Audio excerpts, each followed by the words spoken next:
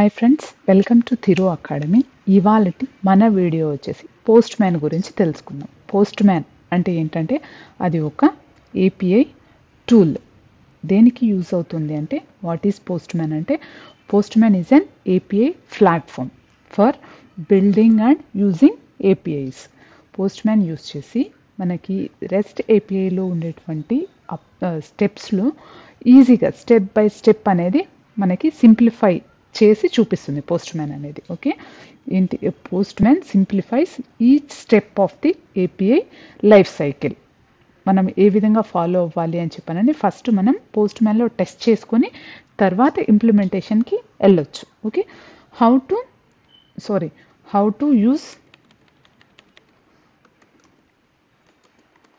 how to use of you how to use Postman okay Postman అనేది API development tool which helps to build and test and modify APIs మనము post man use చేసి get చేసుకోవచ్చు update చేయొచ్చు save చేయొచ్చు plus delete కూడా చేయొచ్చు. ఈ functionalities అన్నీ మనం పోస్ట్ మ్యాన్లో చూడొచ్చు. ఓకే పోస్ట్ మ్యాన్లో ఇక్కడ ఇవి కనిపిస్తున్నాయి కదండి.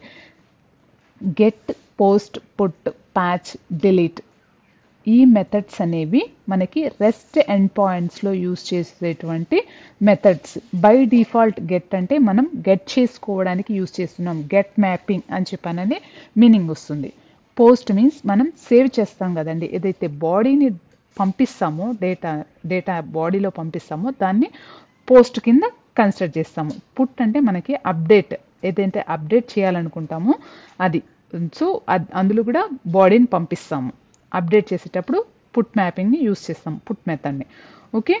డిలీట్. ఏదైనా డిలీట్ చేయాలనుకుంటే మనం డీబీలో పోస్ట్ మ్యాన్ యూస్ చేసి టెస్ట్ చేసుకోవాలి అని అనుకుంటే డిలీట్ చే డిలీట్ మెథడ్ని యూస్ చేస్తాం. Like put and patch like similar kind of things. Okay? First of all మనము ఎలా గెట్ చేసుకోవచ్చు ఎలా డిలీట్ చేయొచ్చు ఎలా అప్డేట్ చేయొచ్చు అనేది ఒకసారి చూద్దాము. ఈ అప్లికేషన్ అనేది నేను ఆల్రెడీ క్రియేట్ చేశాను. దీని లింక్ అనేది మీకు డిస్క్రిప్షన్లో ప్రొవైడ్ చేస్తాను. ఒకసారి చూడండి. ఇందులో వచ్చేసి అప్లికేషన్ రన్ అవుతుంది. Up and running. Okay? With eight zero eight zero port తోటి. సో నేను కూడా ఇక్కడ పోస్ట్ ఒక ఎంప్లాయీని సేవ్ చేస్తున్నాను డేటాబేస్లో. ఎలా సేవ్ చేస్తాము అని అంటే మనకి ఎంప్లాయీలో వచ్చేసి మనం ఏమేమి ప్రాపర్టీస్ తీసుకున్నాము అని అంటే ఎందుకంటే ID employee ID first name last name salary అని చెప్పనని తీసుకున్నాము. సో ఇక్కడికి వచ్చేసి మనకి ఐడి అనేది ఆటోమేటిక్గా జనరేట్ అవుతుంది. అది యూనిక్ ఐడి కాబట్టి. సో ప్రైమరీ కీగా యాక్ట్ చేస్తుంది కాబట్టి ఆటోమేటిక్గా జనరేట్ అవుతుంది. రిమైనింగ్ ఫీల్డ్స్ డేటాని మనం ప్రొవైడ్ చేయాలి. సో ఇక్కడ ఫస్ట్ నేమ్ వచ్చేసి నేను లక్ష్మి అని చెప్పనని తీసుకుంటున్నాను. లాస్ట్ నేమ్కి శాలరీ వచ్చేసి ఫైవ్ థౌజండ్ అని చెప్పనని తీసుకున్నాం. దీన్ని మనం డీబీలో స్టోర్ చేయాలి.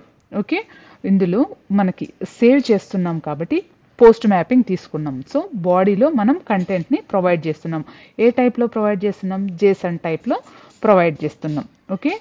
ఇక్కడ మనం ఏ టైప్స్ని సపోర్ట్ చేస్తుంది మనకి పోస్ట్ మ్యాన్ అంటే text JavaScript JSON HTML XML ఈ అన్ని టైప్స్ని ఇది సపోర్ట్ చేస్తుంది. అందులో మనకి ఫ్లెక్సిబుల్ టైప్ ఏంటి? జేసన్.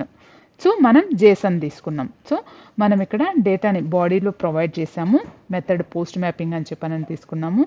సెండ్ మీద క్లిక్ చేసామంటే అది వెళ్ళి స్టోర్ అవుతుంది. ఎక్కడైతే మనం సేవ్ చేయాలనుకుంటున్నామో అలా. ఎక్కడైతే టెస్ట్ చేయాలనుకుంటున్నామో ఈ ఎండ్ పాయింట్ని టెస్ట్ చేయాలనుకున్నాము. మనం సెండ్ కొట్టంలోనే ఇది డేటా అనేది డీబీకి వెళ్ళి సేవ్ అయిపోయింది. ఓకే? ఎంప్లాయీ ఐడి వచ్చేసి two thousand one hundred and fifty టూగా సేవ్ చేసి డీబీలో అది రిటర్న్ తీసుకొచ్చేసి మనకి చూపించింది.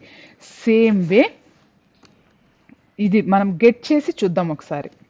సో మనకి ఆబ్జెక్ట్ అనేది సేవ్ అయిపోయి ఆబ్జెక్ట్ని రిటర్న్ చేసింది. సేమ్ వేలో మనం గెట్ చేసుకునే గెట్ కూడా చేసుకోవచ్చు. ఓకే ఇక్కడ గెట్ ఆల్ ఎంప్లాయీస్ మెథడ్ అనేది ఉంది. ఒకసారి చూద్దాము. సో మనకి డీబీలో ఎన్ని ఎంప్లాయీస్ అయితే డేటా ఉందో అది మొత్తం స్టోర్ అయింది ఇక్కడ. తీసుకొచ్చి ఒకేసారి చూపించేసింది. Okay?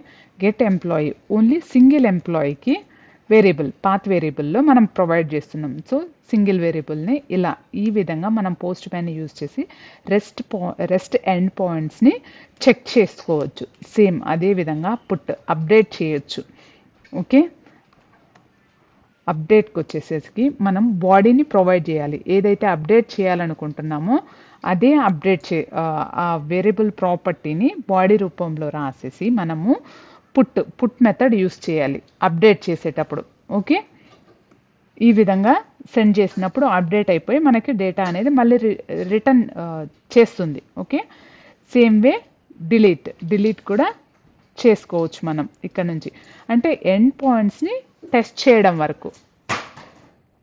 ఇక్కడ నుంచి టెస్ట్ చేసుకోవచ్చు. పోస్ట్ మ్యాన్ నుంచి మనకి ఈజీగా. ఇక్కడ వన్స్ మనకి రెస్ట్ ఎండ్ పాయింట్ని ఎండ్ పాయింట్ని పోస్ట్ మ్యాన్లో టెస్ట్ చేసి ఇంప్లిమెంటేషన్కి వెళ్ళాము అని అంటే మనకి స్టెప్ బై స్టెప్ ప్రాసెస్ అనేది ఈజీ అవుతుంది. వన్ మోర్ థింగ్ ఇంకొకటి ఏంటంటే మనము ఇక్కడ పెరామ్స్ ప్రొవైడ్ చేస్తున్నాము. ఇక్కడ క్వైరీ పెరామ్ ప్రొవైడ్ చేస్తున్నాము. ఆ క్వైరీ పెరామ్ వాల్యూ అనేది మనకి ఇక్కడ పెరామ్స్లో EMP ID two thousand one hundred and fifty two అని చెప్పానని కనిపిస్తుంది. మనం ఇక్కడ క్వైరీలో ఏ అయితే ప్రొవైడ్ చేసామో అవన్నీ ఇక్కడ కనిపిస్తాయి. సేమ్ ఇక్కడ కూడా మనం ఒకటి ప్రొవైడ్ చేసాము ఇక్కడ ఎండ్ పాయింట్ యూఆర్ఎల్లోనే ప్రొవైడ్ చేసాం అక్కడ క్వైరీ లాగా ప్రొవైడ్ చేయాలి. అందుకని ఇక్కడ చూపించట్లేదు. ఇక్కడ క్వైరీ పెరామ్ లాగా ప్రొవైడ్ చేసాం కాబట్టి ఇక్కడ ఎంప్లాయీ ఐడి దాని యొక్క వాల్యూ చూపిస్తుంది ఇక్కడ.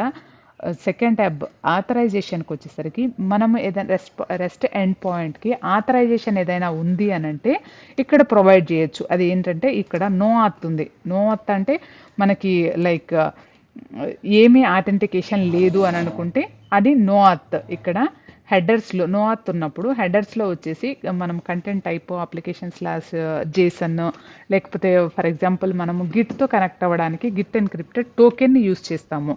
అక్కడ ఇక్కడ టోకెన్ అని ఇచ్చేసి ఆ టోకెన్కి వాల్యూ ఏదైతే ఉంటుందో ఆ వాల్యూని ఇక్కడ ప్రొవైడ్ చేస్తాము. అలా.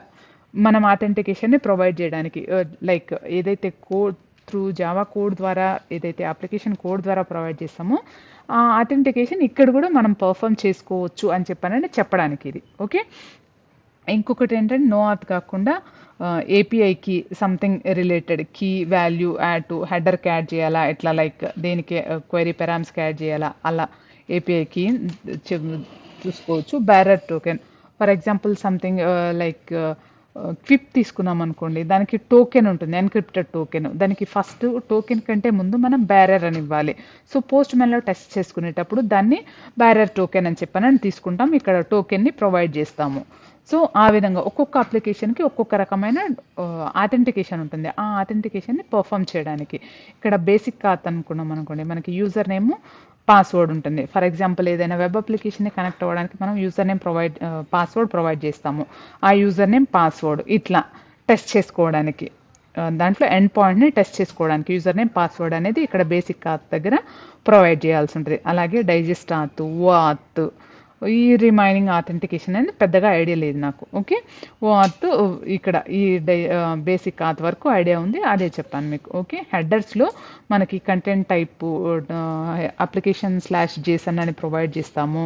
ఇంకా సంథింగ్ మనము ప్రొవైడ్ చేస్తాం కదండి హెడర్స్ అవన్నీ ఇక్కడ ప్రొవైడ్ చేయొచ్చు. బాడీ బాడీ అంటే మనము ఏదైతే పోస్ట్ మెథడ్స్ ఉంటాయో వాటికి బాడీ ప్రొవైడ్ చేయాలి కదండి అది.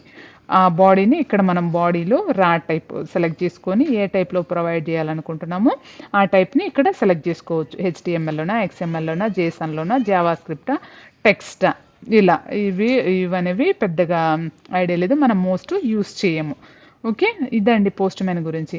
మీకు కనుక ఇది నచ్చినట్లయితే ప్లీజ్ లైక్ చేయండి షేర్ చేయండి అండ్ నా ఛానల్ని సబ్స్క్రైబ్ చేసుకోండి. Thank you thank you very much